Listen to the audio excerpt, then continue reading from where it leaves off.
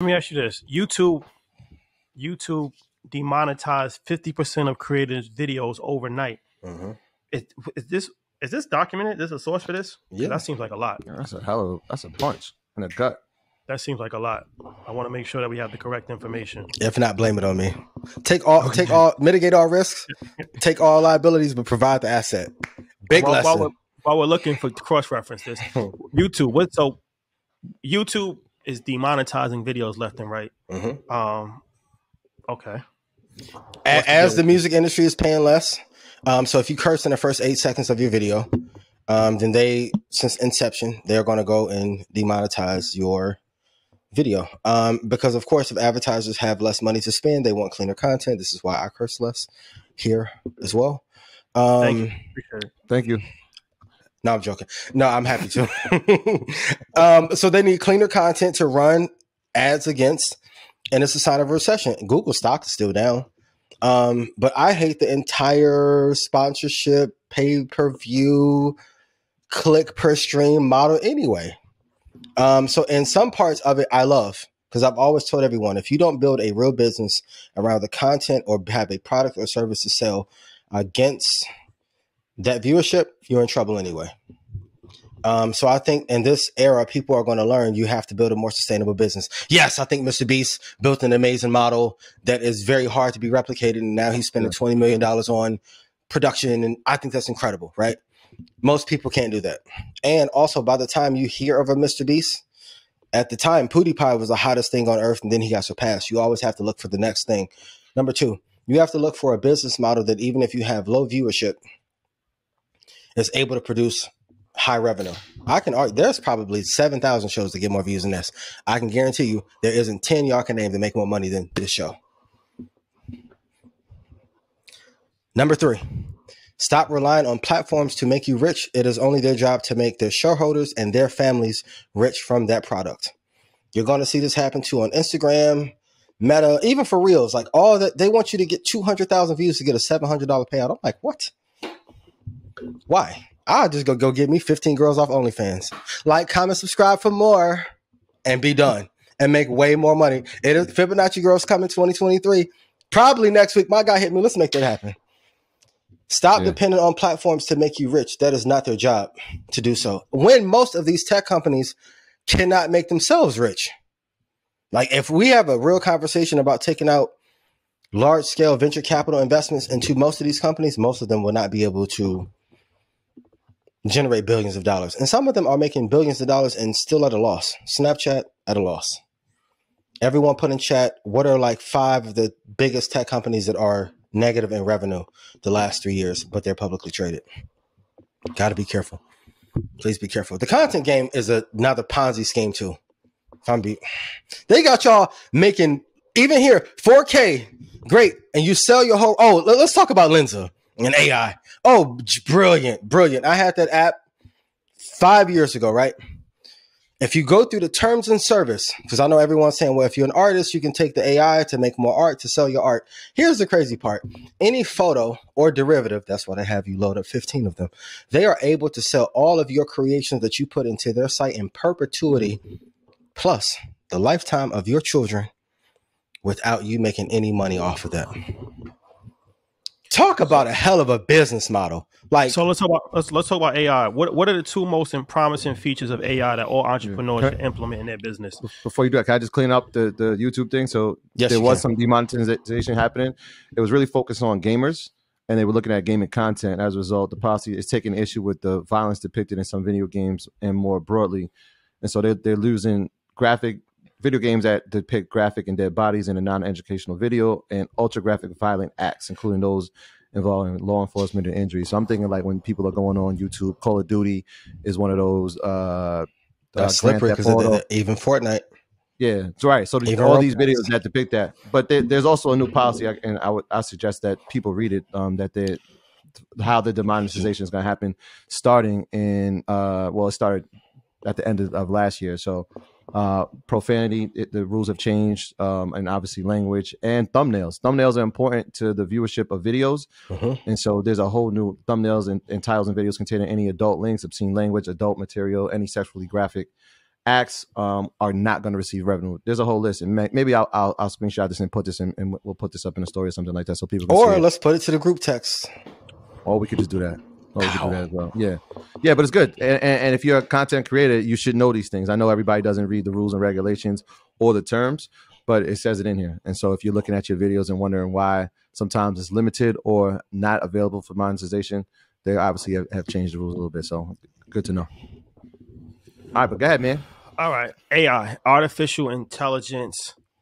Uh okay, this is here, Mhm. and I will say that shout out to 19 Keys. He gave us a dope. Um, he gave us a dope walkthrough. I actually set up a, a, a Zoom call with the team, with Earn Your Leisure's team, and his team to give us um best practices of how he's actually been using artificial intelligence. Yep. and I won't I won't say everything. Um, but he definitely gave us some really dope insight on things that I wasn't aware of as far as how you can have articles written for you, Mhm.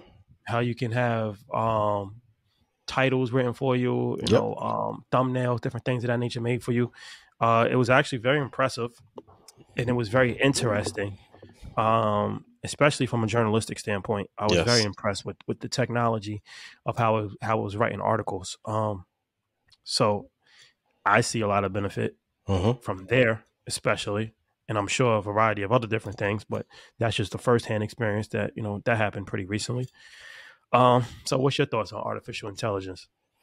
I think two sides of a great. I was having a uh, conversation with Keys on live. I think the number one thing that Elon needs to do with Chat GPT is to have a paid subscription for the top ten thousand influencers to have Chat GPT create all of their tweeted content to make it go viral. Um, since now he's put Can, up the can, view- can you can you tell the people what Chat GPT is? It is a um, AI company that allows you to write articles, headlines, scripts. Even if you want to like do outlines for shows, like I, we're gonna see way more investing content. The top ten lessons you need to learn on investing from Chat GPT, right? So it, it aggregates all the information and it writes um, articles and information out for you. I think is great, but even at the core of it, a lot of what is missing is soul and heart. So you can have a list of ten things, but if you don't have real life experience with it, it's not gonna hit the same. Um, But if Elon, of course, bought Twitter and he is an investor in Chat GPT, it would be a great arbitrage play to tell influencers, hey, Instagram is dying slowly. Um, now use this and pay us a thousand a month or three thousand a year, and we'll write all of your tweets for you and allow you to go viral and get more reach and have AI do it for you. That is a win. At some point, that will be put into Tesla software, and I think will be a great advantage there. And, and it, will, it will allow you to scale. The thing that it will not give you, go ahead. No, I was going to say it- it's interesting because the same things and the flaws that you're saying, they're aware of it. And so there was an article in the Wall Street Journal about um, Chat GPT. I know some people like, what was the letters G uh, PT? They actually took a survey of what people were saying about how the platform is performing. And one of the things that they said is like, even when it's automated, right? So it's a language. It, it actually uh, optimizes language for you.